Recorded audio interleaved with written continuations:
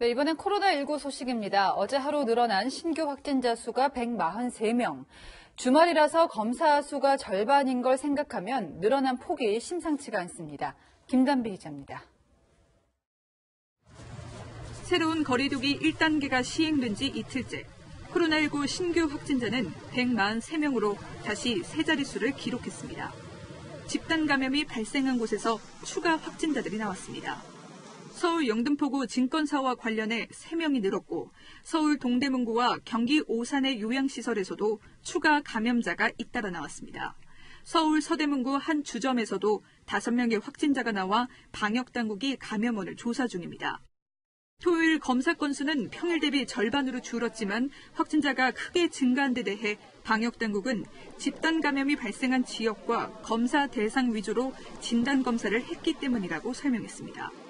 그러면서 확진자 한 명이 타인에게 얼마나 옮기는지 보여주는 감염 재생산 지수가 1 내외로 등락을 반복하는 양상을 위험 신호로 봤습니다. 현재 유행 확산세가 계속 이어진다면 수도권의 경우 거리두기 1.5 단계로의 객상 기준을 충족할 위험성이 커지고 있어 오는 11일부터 정기편으로 중국을 가는 모든 승객들은 탑승 전 48시간 이내에 코로나19 검사를 두 번 받아야 합니다.